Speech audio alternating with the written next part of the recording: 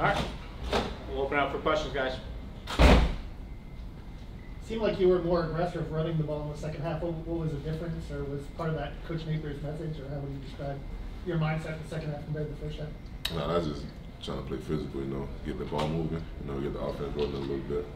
Uh, obviously, we couldn't move it that well in the first half, so you know, I tried to you know, help it, help us a little bit and try to be a little bit more physical on the ground. What was going on those first few series where you guys just really just didn't seem to be in sync or anything? Was it Georgia? Was it you guys? A little bit of both. You know, they had a, a great pass rush. You know, um, our communication was a little off, and we didn't execute that well, and they executed you know a little better than we did. So uh, that, that was pretty much it. What, what do you think of the team rallying though? I mean, you guys are on 28 for A lot of teams could have followed it. You guys scored 17 straight. What does that mean to the team today and going forward? No, that's just us. You know, that's that's nothing new for us. Uh, we've been in games like that before this year, and you know we've always fought through it. So that's just us. That's just how we play ball. You know, we try not to put ourselves in a hole like that. You know, earlier, but that, that's just how we play ball. We like to fight and just play aggressive.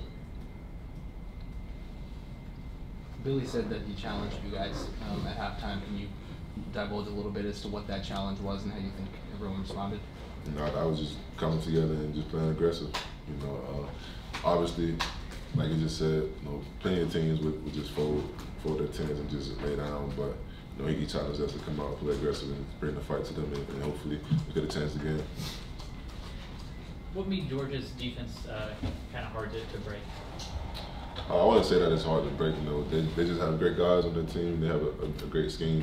So whenever you, you, have a team like that, you know, it's pretty easy for them to run their assignments and do what they do. You know, if they have 11 people doing their job, then you know it's, it's kind of hard to, you know, uh, affect them and, and, stop them. But you know, they have a great defense and great scheme. Those guys know their scheme.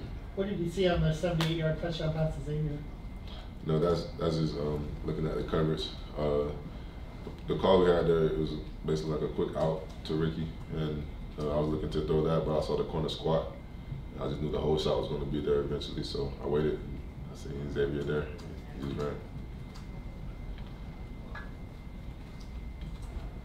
Anyone else, guys? How do, you, how do you guys just kind of take this kind of effort going forward? I mean, you guys have four games left, and you're four and four now. I mean, just your thoughts about the mindset of this game and, and how, how you kind of build off it, you know, to close out the season with them? No, I was just trying to take the good things and you know improve on those, and take the bad things, try to throw them out the window, and just you know, try to correct those things. Um, being consistent, that's probably one of the biggest keys in, in, in, playing, you know, with a great team, being a great team, and, and winning games. So, uh, just being consistent and just growing as a team every day. Well, that's pretty much the main goal for us. You know, last year obviously it kind of spiraled. So I mean, what what makes this group different, or what makes this this team different that you know that won't repeat?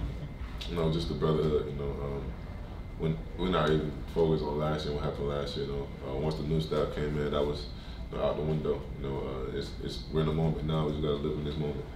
One of the bigger plays early in the fourth quarter, you guys are down by 15 near midfield, fourth down, and had to throw it away. What what what happened on that play? Do you remember?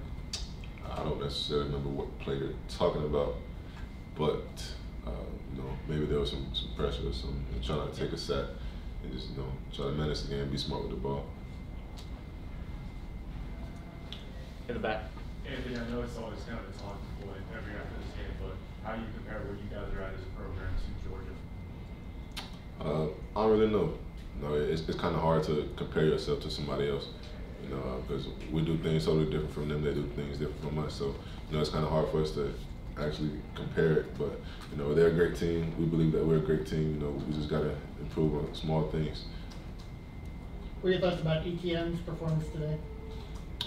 You he's a great player. You know, he's been playing well all season. You know, I'm proud of him. He's a young guy and he goes hard. You know, so um, we got to have him on the team.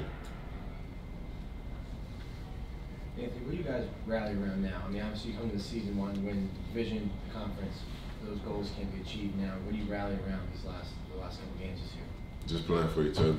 You know, uh, that's pretty much been the main goal all year, sticking together, playing for each other. But you know, uh, trying to focus on those things like winning the East or trying to get to the national championship. You know, that could put a lot of pressure on us. But you know, we play for each other and stand for each other, and hopefully things can fall in our, our favor. when you see the team rally like you did for 17 points there in the third quarter, what does that tell you about the team's capabilities in the next four ball games? You know, that just shows us that we could play ball however we want to play, play ball whenever we want to. You know, that's just starting fast and staying fast and finishing fast. You know, so um, the beginning of the game we gotta play like like we did in, in this third quarter. But you know, that just shows us that we have a good team that knows how to fight. What was the difference then in the first quarter when you showed up, and then in the third quarter that you showed up? You just said, you know, got to play the first quarter like the third. Uh, I don't think we, we came out as aggressive as we did in the third quarter. You know, uh, we were just trying to play it play by play and just let it happen instead of you know attacking it and, and playing ball how we play ball. So I think that was the key thing right there. Anyone else? All right. Thanks, Anthony. Thank God. Thanks, Anthony.